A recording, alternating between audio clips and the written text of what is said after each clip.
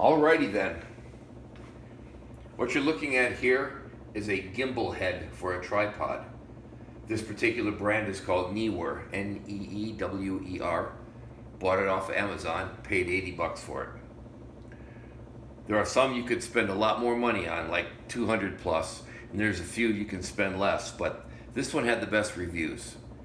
Came in at about 4.8 thereabouts. 72% of the people gave it a 5. They, they, they really like this. It's a, it's a nice build. It's very robust, powder coated aluminum. Everything fits well. It's very well machined. There's one comment that seems to run consistently through a lot of the a lot of the reviews, and that is that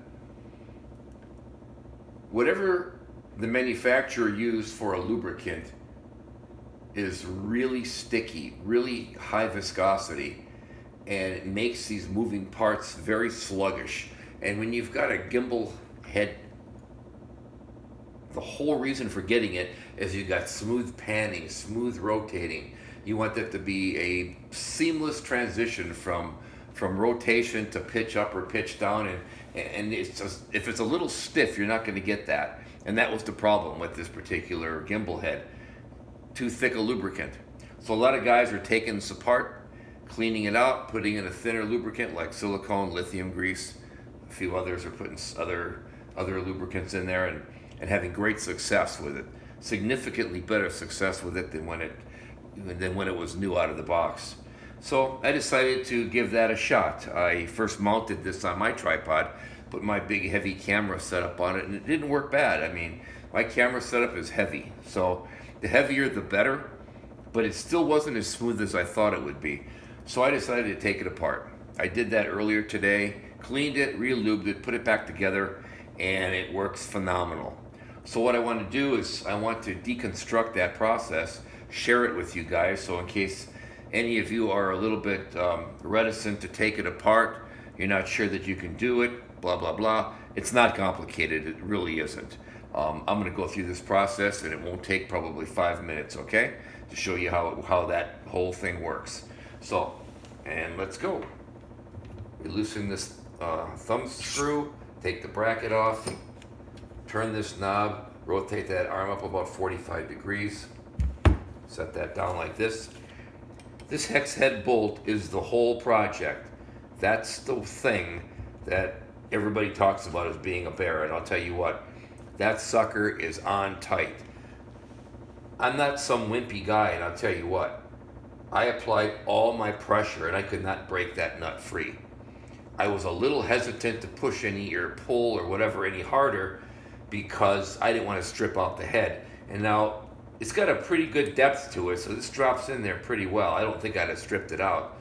But this doesn't have the tightest fit. This is probably a metric, a metric opening. I don't have a metric to fit that. I think it's a six millimeter. This is a seven 30 seconds, 30 second uh, wrench. So it fits in there good, but there's a little bit of play, a little bit of slop. But it worked, okay? But here's what you have to do. Boil some water on the stove, three or four cups of water. Get yourself a, a little bowl like this. Set the tripod head in there like that pour your water in there. And now that boiling water is going to sit, it's going to heat up the part. It's going to break down some of that viscosity of the lubricant. It hopefully will break free whatever is holding that bolt so tightly in place. And I left mine in there for about 20, 25 minutes as opposed to uh, others who have tried this. Um, in fact, there was a guy who has a, a YouTube channel, which is where I saw this being done. And he held his in a boiling pot of water for 45 seconds. And he had success uh, doing it that way. I just didn't want to hold it over a pot of boiling water. So I thought I would just soak it and let it soak longer. so I took it out, dried it off, had it got a good grip on it like this, put my wrench in there, held onto it, and I applied a moderate amount of force and it broke free. And it was, uh, it was a stiff back out, but it, it came all the way out, no problem. Now, since I've completely redid this entire gimbal head, this comes off real easy. I mean, I can thumb and finger, I can unscrew that. It's no problem there. So there's your bolt, hex head. Okay? The next thing you want to do is you want to take this knob off right here.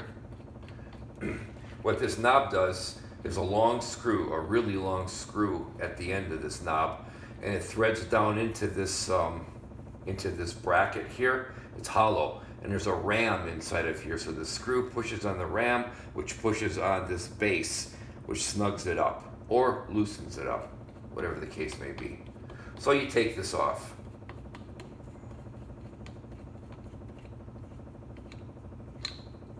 Okay, now you've got this sleeve on here. All right, I just use the crescent wrench because it's what I what I had available right away. It's like not even a, not even a quarter of a turn and this thing's already loosened. So this is not on tight. This is not a problem. You can just unscrew that with ease. This has got a little bit of thread as well. There it is hollow straight through. And in here is this stainless steel ram I was telling you about. There that is. This is what it looks like. Okay? And now you can remove this base plate right there. So when you pull yours out, it won't come out that easily. It's gummy, it's sticky. It almost looks like a glue. The, the um, lubricant is so thick. So you'll want to clean that all off of there. You'll want to clean all that lubricant that's in here. You want to remove all of that. And then what you want to do is re-lubricate it with, with a thinner viscosity lube, and this is what I used right here. It's called Lube Tube. Um, I use it for all my moving parts and my O-rings for my pool equipment, my pump, my basket, my whatever. I use this exclusively. It doesn't dry, it doesn't crack, doesn't yellow, doesn't harden, doesn't break down in the heat. It's waterproof, it's perfect. So I'll put a little bit of that on this piece right here. Put a thin coating inside this housing. Put that back in place like that. And then you just do the reverse of what you did to take it apart. This ram, I put a thin coating on that ram. Put that back in there. And then grab this threaded sleeve, put that back on like this. It's really easy. Not a whole lot of parts to this. And what you're going to do is going to make a huge difference in its performance. Crescent wrench back on. Just snug, that's all. Put this back on. And I'm going to snug this up all the way so it's tight. like that. Reason I snugged it up is so that I can put this screw back in here without that base plate turning. If you don't snug that up, that will turn. All right, put this in here. And I'll show you a little something here. I'm gonna snug this up a little bit, just so it's finger tight. Now I'm gonna loosen this up, and, and, and what should happen is this should spin very freely. And it does, but it's really stiff. And the reason it is is because this is a little bit too tight. So you just break that free. Whoops, tighten this down. And just break this free a little bit. It's a little too tight, like that. Okay, loosen that back up. And that, that spins three times smoother and easier than it did when I took it out of the box. That's phenomenal. Really nice. So if it's a little bit tight, just loosen a little bit up on this nut. It's not wobbly or it's not going to fall out of here. Plenty of thread and it seats in there really well so it's not going to come out. But that acts like a, almost like a tensioner. And so you can just, you know, turn it a little bit. If it's a little too tight, that's going to make this a little tight. So you loosen that up. Now it's beautiful. Okay? I'm going to snug this back up. Now we have this entire arm configuration. So what we're going to do here, loosen this up. What I'm going to do is I'm going to put this same same hex head wrench, by the way. And this was not, tighten that up here. This was really easy to break free. This was not like that, not like that bolt that we had to take out on the base. This comes off really easy. So, see this here so you can see it. I'm just kind of spinning this like this.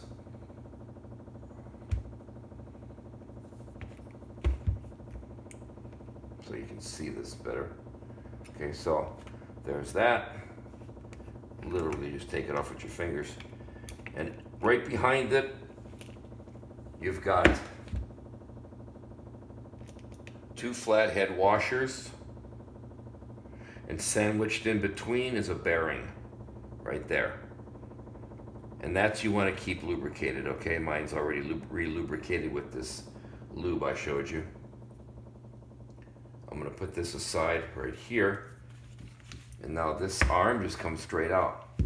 And when you take yours out, it's going to have that really thick, stringy, gooey lubricant. You'll want to clean that all off with uh, mineral spirits, paint thinner. Clean it thoroughly, and then recoat it with a thinner viscosity uh, lubricant like this right here. Make sure you get all the surfaces completely coated. Be sure you clean out inside of this housing on both sides and then re-lubricate this interface right here, this flat section here, and re-lubricate that section right there. And then this just pops into place here, like that see right how they how they go right together. So that's a real real important interface to be well lubricated. Okay, so at this point here, you've got the two flat washers and sandwiched in between is the is the um, bearing. Okay, clean it off there a little bit. I'm gonna put this right back in here and then I'm going to just thread that in like that. Get my wrench. And spin that in there till it's snug. Have to crank it too tight, just snug. Alrighty. And so the rest of the the play in this knob is just to loosen the arm. I'll tell you what. Didn't do that out of the box. It is super smooth. So there you go.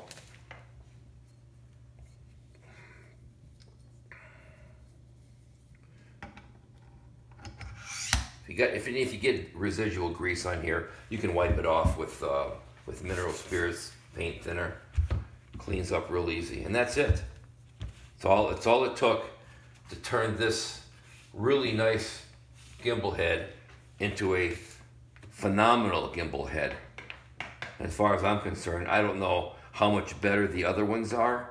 Maybe they come like that right out of the box. You don't have to do that, but I'll tell you what, for 80 bucks, um, you can't beat it. And I'm looking forward to trying it out. So thanks for watching, guys. Good luck.